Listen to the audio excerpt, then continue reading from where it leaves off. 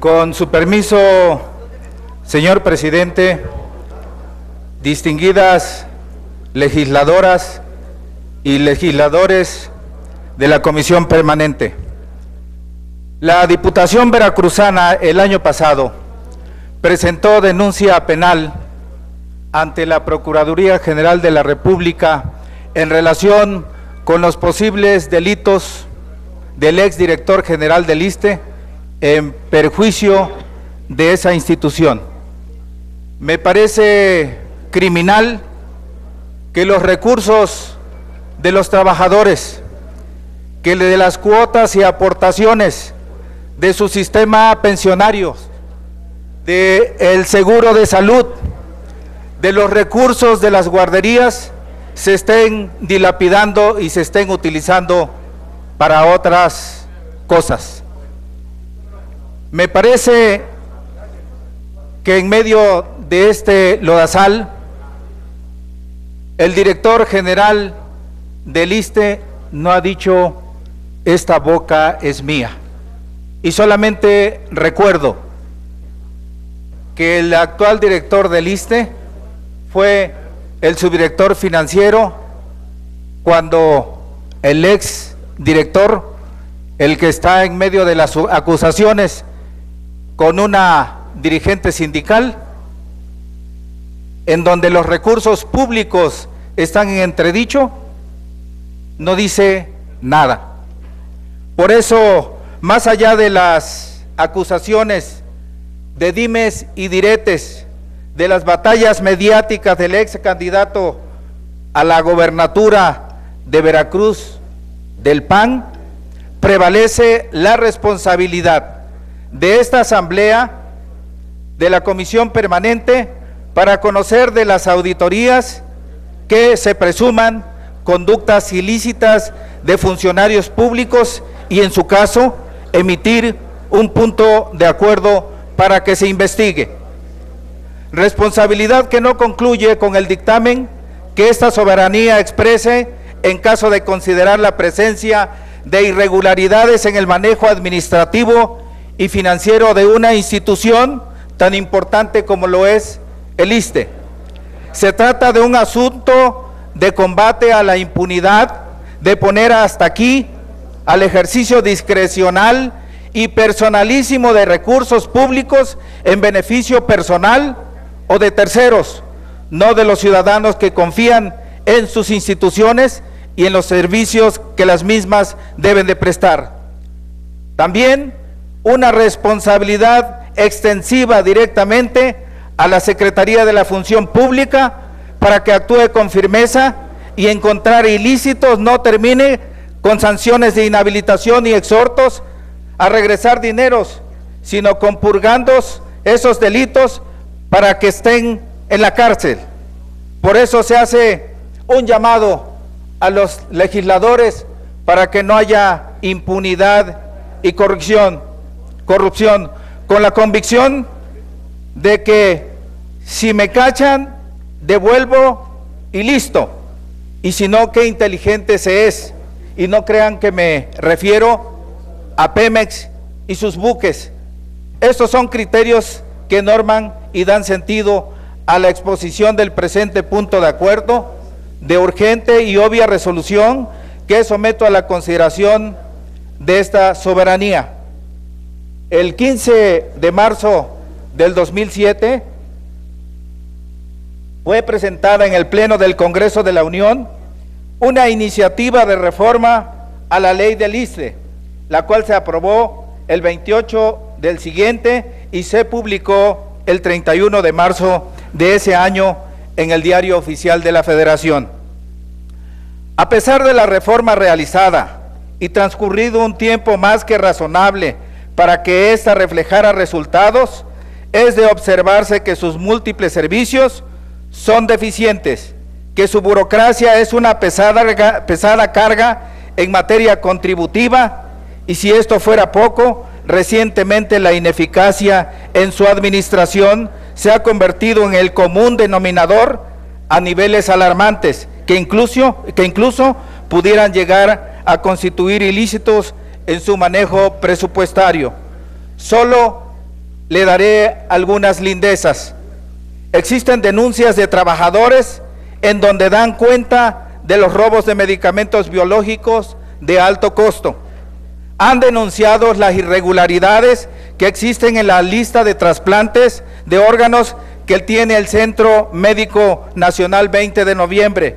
Basta revisar como parte de los resultados del análisis de la Auditoría Superior de la Federación múltiples irregularidades e incumplimientos normativos y administrativos en dependencias y entidades de la Administración Pública Federal. Se detecta que en el ISTE los recursos autorizados se ejercen con opacidad y se realizan transferencias bancarias y presupuestales sin que exista la transparencia adecuada. Para el presupuesto de egresos de la Federación correspondiente al 2009, la Cámara de Diputados aprobó un presupuesto de 88 millones para el instituto. Sin embargo, a través de las adecuaciones y ampliaciones a ese presupuesto autorizado, la Secretaría de Hacienda y Crédito Público ejerció el ISTE 160 millones de pesos, 160 mil millones de pesos. Es decir, el 81% más de lo que autorizó el Congreso. El órgano fiscalizador determinó que 12 delegaciones del ISTE no han sido capaces de aclarar los motivos del exceso en el número de cuentas bancarias. La Auditoría Superior de la Federación entregó un reporte en febrero pasado a la Cámara de Diputados, específicamente a la Unidad de Evaluación y Control órgano técnico de la Comisión de Vigilancia, en que concluye que en los contratos de cuentas bancarias se observa lo siguiente, falta de control para la custodia y resguardo, que la entidad auditada carece de políticas que normen los plazos o tiempos para aclarar las partidas en conciliación, que si bien la ley prevé la creación de una unidad administrativa especializada de inversiones, hasta la fecha el ISTE no la ha creado. Particularmente grave y delicado fue el resultado de la auditoría especial a la regulación y supervisión de estancias para el bienestar y desarrollo infantil, es decir, las guarderías del instituto, como si en nuestro país no se hubiera conmovido por la tragedia ocurrida por la guardería ABC. Parece que el ISTE no ha tomado medida alguna para mejorar la seguridad de los niños de este país. La Auditoría Superior de la Federación detectó que en el turiste otorgó contratos por 1.700 millones de pesos a empresas para que llevaran actividades relacionadas con los festejos del Bicentenario de la Independencia, capacitación a policías federales e incluso organizar actos públicos para el presidente Calderón. Dichos gastos sobrepasa el gasto de operación que para el año 2009 era de 76 mil millones de pesos y que el turista terminó ejerciendo un presupuesto 17 veces más que el aprobado por la Cámara de Diputados. Entre 2006 y 2010, 27 instituciones del gobierno federal han adjudicado a Turiste al menos 185 contratos por 1.862 millones de pesos para realizar eventos que exceden sus atribuciones. Entre las dependencias que utilizan los servicios del turista para llevar a cabo sus eventos está la Secretaría de Seguridad Pública, que es la que más ingresos aporta. Entre 2008 y 2009 y 2010, la Presidencia de la República firmó contratos abiertos para gastos de ceremonial y gastos de congresos y convenciones por más de 20 millones de pesos. En total, el turista en el 2009 facturó a la presidencia de la República 52 millones, 31 millones de pesos más que lo estipulado en el contrato disponible.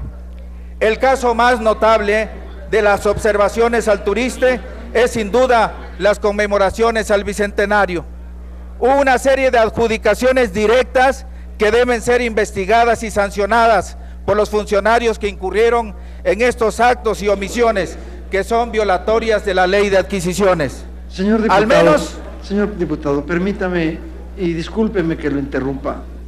Solo está reglamentariamente autorizado interrumpirlo para efectos de una moción de orden, la misma que hace esta presidencia a la Asamblea y por supuesto a quienes ocupan las galerías. Es necesario guardar el debido orden y abrir el espacio de silencio para escuchar al orador. Y le ruego concluir con su intervención, que su tiempo ha concluido. Trataré de concluir, señor presidente. Por lo anteriormente expuesto, nos permitimos presentar a esta soberanía el siguiente punto de acuerdo. La Comisión Permanente del H Congreso de la Unión, con fundamento en los resultados de las auditorías practicadas por la Auditoría Superior de la Federación, aliste de los trabajadores al servicio del Estado, solicita a la Secretaría de la Función Pública y a la Procuraduría General de la República instrumenten de inmediato las acciones necesarias a efecto de salvaguardar los recursos públicos que fueron destinados a dicho organismo público descentralizado y se lleven a cabo las investigaciones correspondientes para deslindar y sancionar las responsabilidades administrativas y penales a que haya lugar. Segundo, se exhorta a la Auditoría Superior de la Federación para que en el, ámbito de sus atribuciones se efectúa de manera inmediata una auditoría a los ejercicios fiscales 2007, 2008, 2009 y 2010, particularmente en la gestión financiera y el cumplimiento de los objetivos contenidos en los programas del ISTE. Se observe en su, en su ejecución la Ley Federal de Presupuesto y Responsabilidad Hacendaria, Ley de Ingresos, Código Fiscal de la Federación y Ley de Procedimiento Administrativo y la Ley de Responsabilidades Administrativos de los Servidores Públicos y de Presupuesto.